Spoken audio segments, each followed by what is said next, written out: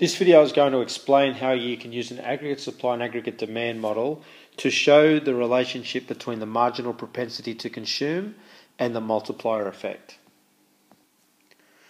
If you're not sure about how the marginal propensity of consume will affect the level of aggregate demand, you should watch the video on the marginal propensity to consume. But basically, if we have a greater MPC, it will lead to a steeper aggregate demand curve. So from AD1 to AD2. The difference between AD1 and AD2 is a higher marginal propensity to consume. And that just means that for every dollar of income households are receiving, they're spending more of that dollar. We can see that just increasing the marginal propensity to consume on its own leads to an increase in the level of aggregate demand and the level of national income. But in this video, we're going to specifically look at how an increase in the marginal propensity to consume will lead to an increase in the multiplier effect. We're going to start with two relatively flat aggregate demand curves, and they're flat because there is a low level of MPC, a low marginal propensity to consume. There's been an increase in aggregate demand from AD1 to AD2, and that's led to an increase in national income from NY1 to NY2. There is a video called the multiplier effect which explains this next step, but basically the level of aggregate demand has, uh, has increased by this much here, and the level of national income has increased by a greater amount than just the level of aggregate demand, and that's because we have a multiplier effect. So the increase in AD uh, is by this amount here, and the increase in national income is by this larger amount here. What we're going to do now is to put in two steeper aggregate demand curves. They're going to increase by the same amount, so we're going to start them at the same starting point we'll start with a new aggregate demand curve, which we'll draw to here, and it's much steeper than the first one. And then we'll put another one, so we've increased aggregate demand by the same amount. So we'll start at the same same place as AD2, and we'll make the slope the same as that new aggregate demand curve.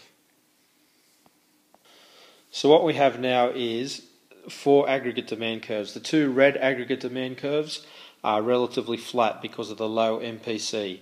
With a, a larger MPC, a higher amount of consumption for every dollar of income that is earned, we get a steeper aggregate demand curve. So we've gone from the red demand curves to the blue demand curves by having a greater level of marginal propensity to consume. So the original increase in national income was from NY1 to NY2 and is by that distance from NY1 to NY2. The new level of aggregate demand, uh, due to the increased level of MPC, has led to an increase in national income of this amount here, which is greater than from NY1 to NY2. So, by having a steeper aggregate demand curve caused by a larger marginal propensity to consume, we get a greater multiplier effect uh, and so from the same increase in aggregate demand, we get a larger increase in national income. To show the effect more obviously and a little bit more clearly, I've increased the slope of the aggregate demand curves uh, by having a much larger MPC, marginal propensity to consume, and I've made it so the original aggregate demand line runs through the, uh, the, the original NY2. So now the economy, which had the red aggregate demand lines, it had an increase in national income from NY1 to NY2.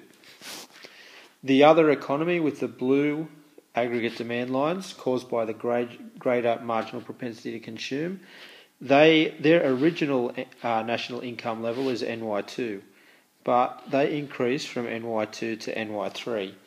And again, we can note that from the starting points here and here of those curves, the increase in aggregate demand is the same in both cases. So this could be, for example, an expansionary fiscal policy. The government has injected this amount of money into the economy through their fiscal policy, but the economy with a greater multiplier has a greater effect on the level of national income, and that is because they have a greater multiplier. And to take it a step further, they have a greater multiplier because they have a larger marginal propensity to consume.